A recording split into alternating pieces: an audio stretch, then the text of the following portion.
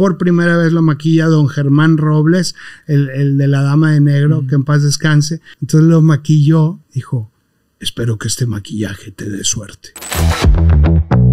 Entonces mi papá entró a la televisión gracias al arquitecto Benavides en multimedios, siendo mi papá un odontólogo, este, estudiante de la odontología y dar una plática de higiene dental en la televisión.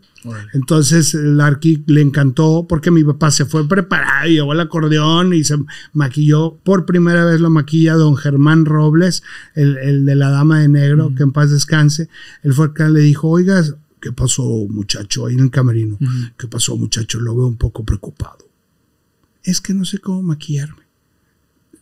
Eh, tu cara y mi cara son un poco afiladas, parecidas. ¿Qué te parece si te, si te maquillo?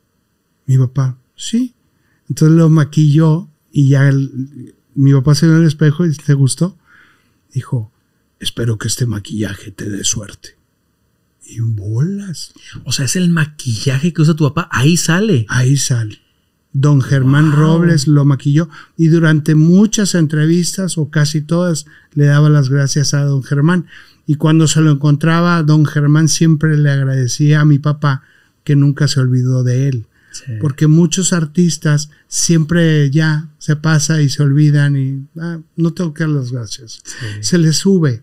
Eso es lo que más odio de, mucha gente del medio, que es que se le sube y no tiene por qué subirse nada. Todo es, es momentáneo. Sí, y recuerda que como estás arriba, estás abajo. ¿eh? Y donde estés, a lo mejor estás abajo y a lo mejor otro día otra vez vas a, vas a estar arriba.